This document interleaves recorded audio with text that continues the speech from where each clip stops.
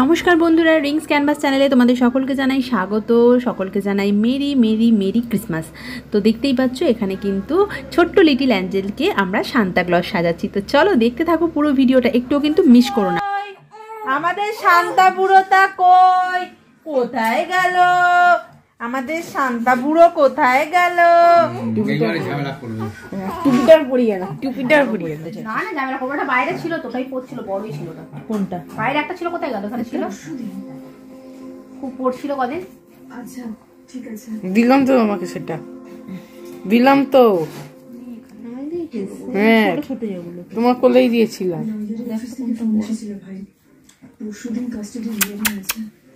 এটা? এটা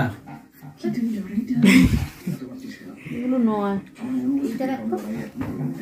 টেনে বড় করতে টেনে?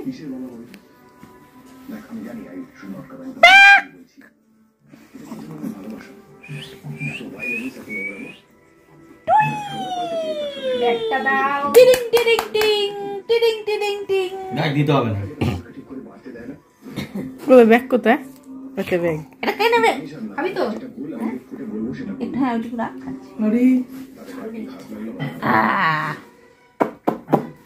রেডি হয়ে গেছে শান্তা বুড়ো সান্তাক্লজ তো সাজিয়ে দিয়েছি আর এখন ওর খিদে পেয়ে গেছে, তো ওই জন্য ওকে এখন খাওয়ানো হচ্ছে। অনেক ভিডিও ফটো সমস্ত কিছু তুলেছি, অনেকগুলো রিলস বানিয়েছি। তো ও বেচারা একটু ক্লান্ত হয়ে গেছে, কিন্তু সত্যি কথা বলতে কি, ও কিন্তু একটুও কান্নাকাটি করেনি। ও কিন্তু সুন্দরভাবে ভিডিও আর ফটো তুলতে আমাদেরকে সাহায্য করেছে, তার জন্য ওকে অনেক অনেক অনেক ধন্যবাদ। তো তোমরা সান্তাক্লজ কি, কে কে সেজেছো, আমাকে একটু কমেন্ট করে জানাও, আর কারা কারা মেরি ক্রিসমাসে কী করছ সেটাও কিন্তু আমি জানতে চাই।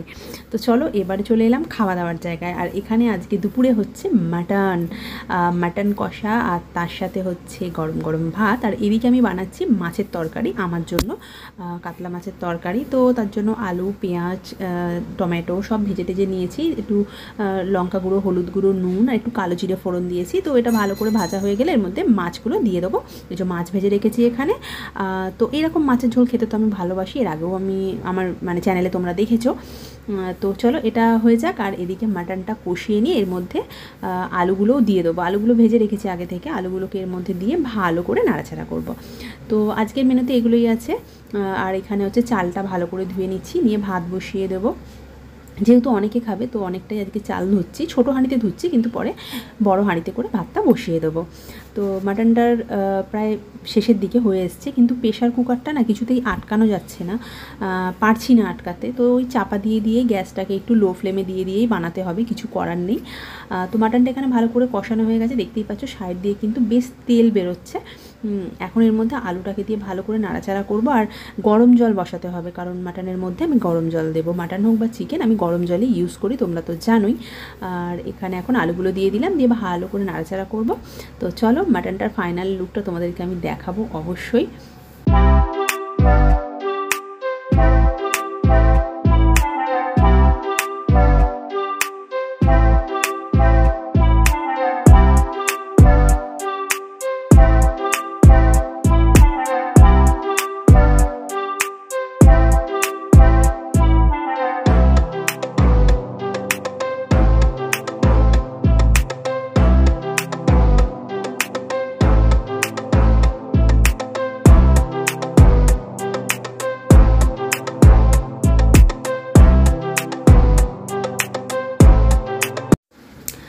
মাটনের আলু এবং মাটন সবটাই ভালোভাবে সেদ্ধ হয়ে গেছে, আর এখন হচ্ছে এর মধ্যে ঘি আর গরম মশলাগুলো দিয়ে দিলাম। গরম মশলা যদি সিলে বেটে দেওয়া যায় না, দারুণ টেস্ট হয়। তো এই হচ্ছে মাটনটার ফাইনাল লুক। দেখতে পাচ্ছ কতটা সুন্দর কালার হয়েছে, খেতেও কিন্তু দারুণ টেস্টি হয়েছে। তো বন্ধুরা, আজকের ভিডিওটা এখানেই শেষ করছি। ভিডিওটা কেমন লাগল আমাকে কমেন্ট করে জানিও। আর কারা কারা মেরি ক্রিসমাসের দিনে আনন্দ করে কাটাচ্ছ আর কোথায় কোথায় ঘুরতে যাচ্ছ আমাকে কিন্তু কমেন্ট করে জানিও। আমি তো বাড়িতেই রান্নাবান্না করছি আর আমার বাড়িতেই ছোট্ট শান্তা আছে, তো সেগুলো নিয়ে আমরা এনজয় করছি।